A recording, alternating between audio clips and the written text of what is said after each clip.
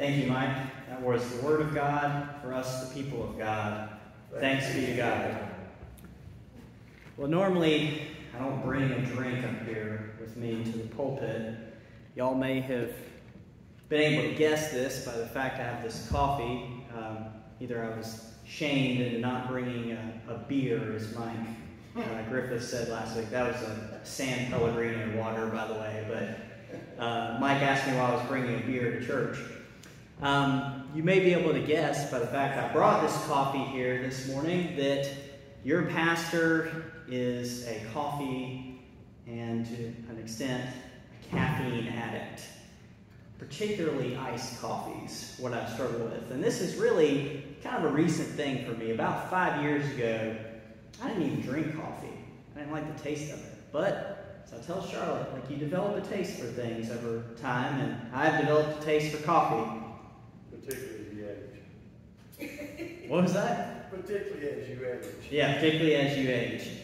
Now, that coffee there is from Sweetwater's Coffee and Tea, where my friend Greg uh, Dodd, a good God fearing Christian, owns the store. But my other big coffee money pit is Starbucks. I know what you're thinking. Oh no, our pastor is some kind of latte sipping elitist liberal. He spends all the money we pay him on overpriced coffees Maybe I shouldn't have told y'all this when you're getting ready to vote on my salary for next year. Now, that is only partially true because I don't drink lattes.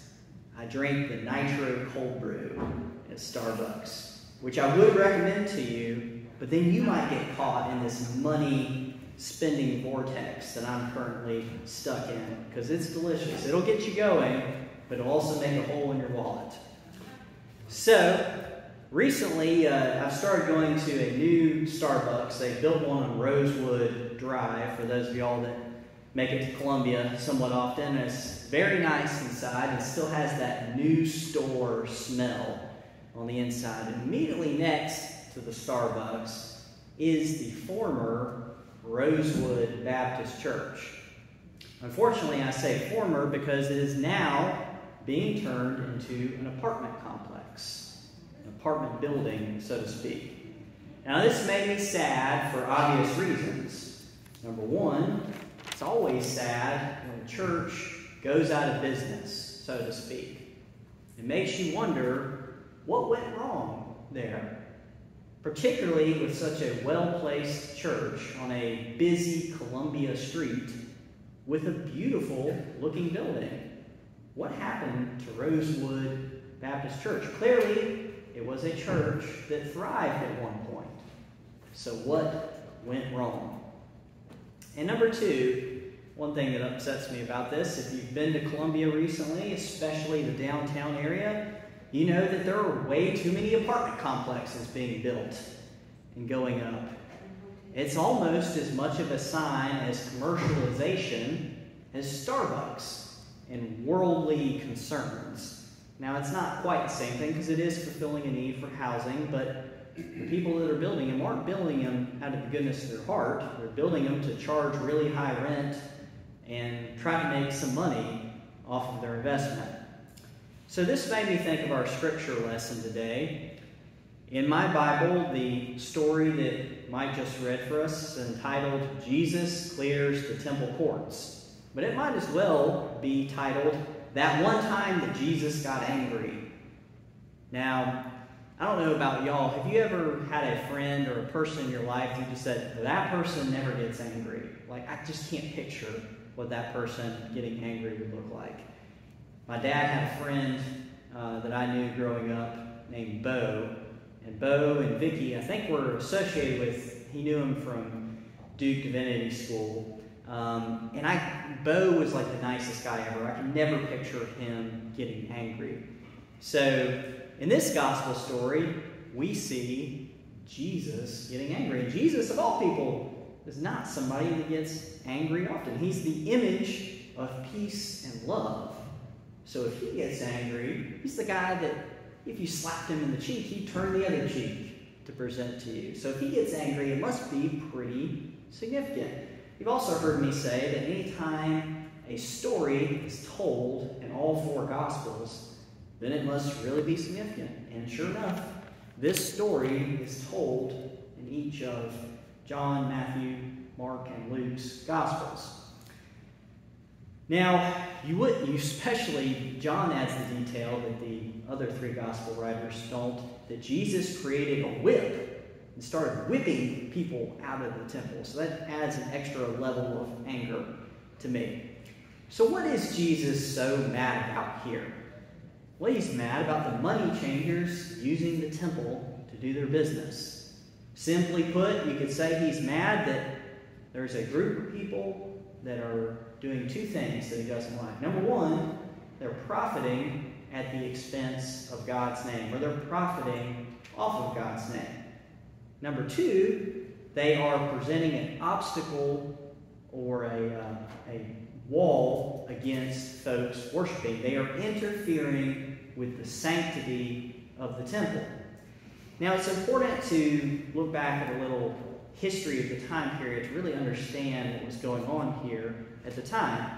Money changers, as they were called, I guess you'd call it like a, an exchange. You know, if you go to Europe or something, you need to get your money turned into euros. You might go to a bank to do that now. The money changers were basically bankers. They were people who were necessary at, the, at that time because travelers from all over would come to Jerusalem for the Passover feast and to pay their respects to God by worshiping at the temple. Now, to do that, they often bought livestock or animals to present as sacrifices at the temple, and they also paid a temple tax. And to do that, you know, they had to convert their currency or change it over to the local currency of Jerusalem at the time. So money changers were a necessary evil, I suppose, at the time, but they should not have been operating in the temple. And that is for two reasons, and I've briefly outlined those already. Number one, they were profiting at God's expense. They were taking advantage of folks who came to worship God, who may have traveled from all over, and they were using it as an opportunity to make money. Number two, that area of the temple, the temple courtyard, was the only place that Gentiles could worship during that time period. So if you weren't Jewish, but you were coming to praise God anyway and to pay tribute to God during the Passover feast, then you had to pray in the outer temple courtyard. And it's obviously some something about praying that's a little off-putting if you have animals making noise and you know the smell of animals out there and people you know basically having a market going on. If you can imagine what it'd be like to have a market or a bazaar with animals inside this church right now while we're trying to worship, it's a little distracting. It would make for a, kind of a distraction when you're trying to be in a mindset to worship God. Now, in Mark's version of the story, he uses some language that John doesn't use. He says that Jesus responded to these money changers by saying, My house will be a house of prayer for all nations, but you have made it a den of robbers. Jesus is quoting two Old Testament scriptures here. He's quoting from Isaiah chapter 56 and from Jeremiah chapter 7. And basically, what he's saying is the temple, like his gospel, his message of salvation, is to be used for all peoples, not just Jews. It is to be accessed and taken advantage of, to be used by all ages, nations, and races. So he's saying this is a message for all nations, and yet for Gentiles, you are interfering with their ability to worship. He's also basically saying that these money changers and merchants that were selling these things may not have been exactly being fair with their prices. At least that's the implication I got. If he refers to them as a den of robbers, people that are out there profiting off of something they shouldn't be profiting over. So, what kind of conclusions could we draw for today? Would Jesus be mad that the Rosewood Baptist Church is now being turned into apartments? And is there anything as Christians that we should get angry about? Well, Jesus, to answer the first question, probably wouldn't be thrilled to learn the church was being made into apartments. You know, if you made it into like a, a perhaps a dormitory for uh, folks that are homeless, that would be different than making it for uh, making it to apartment building for uh, profit. But as fate would have it, I was eating lunch with a friend named Will, uh, who's a fellow dad that I see dropping off our kids. He's, his son will actually be in Charlotte's class this upcoming school year. And Will is a commercial real estate agent, and I mentioned to him Rosewood Baptist Church that I had seen it was being turned into apartments. And he said, Actually, I know the guy that brokered that deal. Uh, he said he's somebody within my firm, and he put within the contract a provision that they could not tear the sanctuary down. Whoever bought it had to keep the sanctuary in place. And that's interesting because I, if you go by this place in Rosewood, you will look at it and it looks kind of odd. It's like got this apartment building here and then a sanctuary.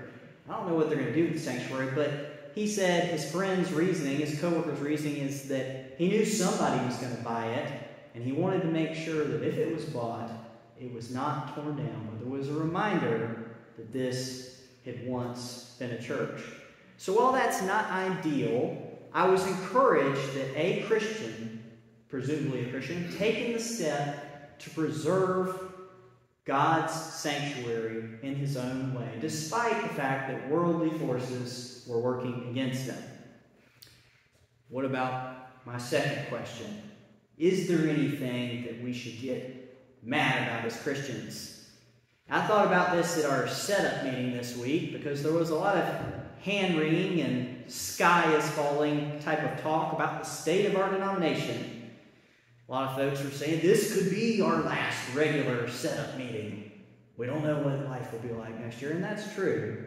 And I don't mean to make light of the situation. It is tragic what our church is going through, don't get me wrong. But I've said many times from the pulpit here that God's church, God's universal church, will live on, regardless of whether it has the name United Methodist outside. Zion will live on, whether it has United Methodist or Global Methodist or any other title outside, we'll still be worshiping God in here, and God's universal church will live on. Now, this story we're talking about, the question I posed, what should we get angry about?